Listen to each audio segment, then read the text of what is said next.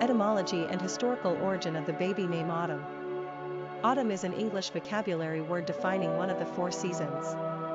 It comes from the Latin autumnus via the Old French autumn meaning harvest time of plenty, the time of gathering crops, perhaps taken from auctus meaning to enhance, increase. Originally the fall season was referred to as hærfest, harvest, in Old English before being replaced with autumn in Middle English, c. late 14th century, under French influence.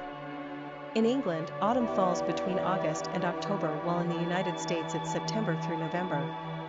In Greek mythology, Demeter was the goddess who presided over the seasons. When Zeus stole her daughter, Persephone, and gave the girl to Hades, god of the underworld, the worried Demeter traveled to the four corners of the earth looking for her precious daughter. Unable to find Persephone, Demeter became so distraught that she ceased producing food on the earth. In order to save the dying earth and starving mortals, Zeus sent for Hermes, the messenger god, to retrieve Persephone from Hades. Hades agreed to let her go providing she didn't eat any food in the underworld, but the girl unwittingly ate some pomegranate seeds just prior to her release. As a consequence, she is forced to return to the underworld for four months of the year. According to tradition, Persephone returns to Earth during the seasons of autumn, winter and spring, but is back with Hades in the summer, when plant life is not flourishing and exposed to droughts. As a female given name, autumn has only been around since the 1960s. It's most popular in the United States, but is also used with respectable frequency in Canada and England. Personality of the girl name Autumn. The number 9 personality represents the completion or ending of the cycle and a need for perfection. This is the personality that moves from self to a greater understanding and compassion for the human condition and the world order. They want to make the world a better place. Nines are capable of great spiritual and humanitarian achievements. They are courageous and fearless, able to fight great battles on behalf of worthy causes.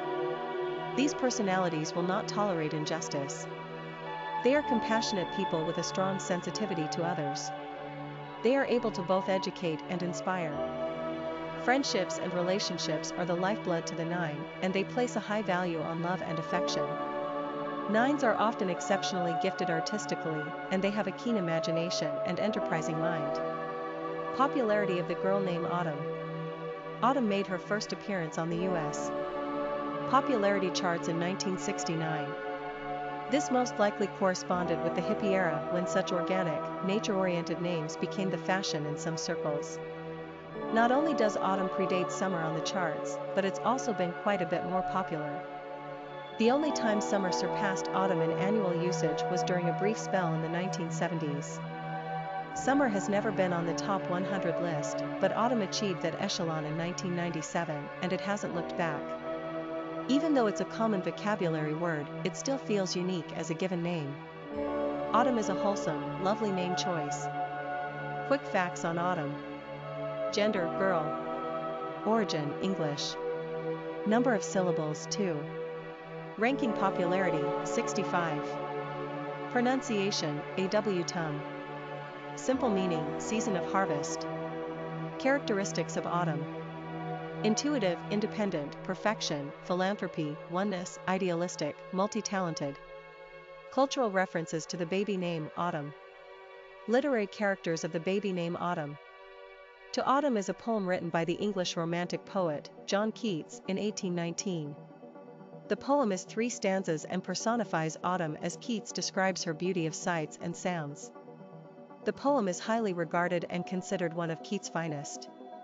The first stanza addresses autumn, describing its abundance and its intimacy with the sun, with whom autumn ripens fruits and causes the late flowers to bloom.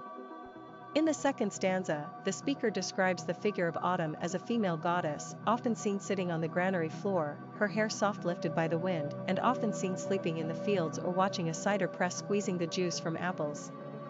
In the third stanza, the speaker tells autumn not to wonder where the songs of spring have gone.